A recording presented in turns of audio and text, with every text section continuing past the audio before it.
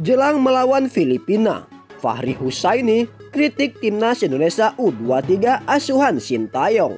Begini katanya, Sebelum lanjut menonton video ini saya ingatkan buat kalian selalu dukung channel ini dengan cara like video ini, subscribe channel ini, dan jangan lupa juga nyalakan lonceng notifikasinya agar kalian tidak ketinggalan update video terbaru seputar berita timnas.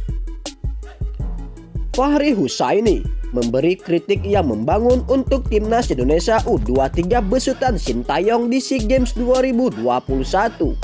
Seperti diketahui, Sintayong sedang fokus menahkodai timnas U23 Indonesia di SEA Games 2021 cabang olahraga sepak bola.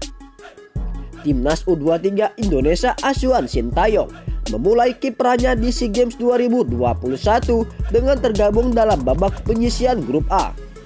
Perjalanan Sintayong dengan timnas Indonesia U23 pada babak penyisian grup A berjalan dengan rintangan.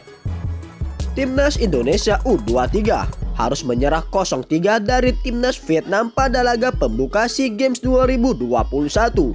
Dan pada laga kedua, Timnas Indonesia U23 menang telak 4-1 atas Timor Leste. Laga selanjutnya, Timnas Indonesia menyisakan dua pertandingan, yakni melawan Filipina 13 Mei 2022 serta Myanmar 15 Mei 2022 jelang menghadapi Filipina dan Myanmar. Anak asuhan Sintayong mendapatkan wejangan dari Fahri Husaini. Saran yang diberikan Fahri berfokus kepada kualitas tim dan hubungan antar pemain. Jika hubungan antar pemain berjalin dengan baik, maka tim akan memiliki kualitas yang baik juga. Sehingga Fahri Husaini berpesan kepada timnas Indonesia U23 untuk beradaptasi, saling memahami, serta dipahami. Kualitas tim tergantung dari seberapa hebat kualitas persahabatan tim di dalamnya, tulis Fahri Husaini.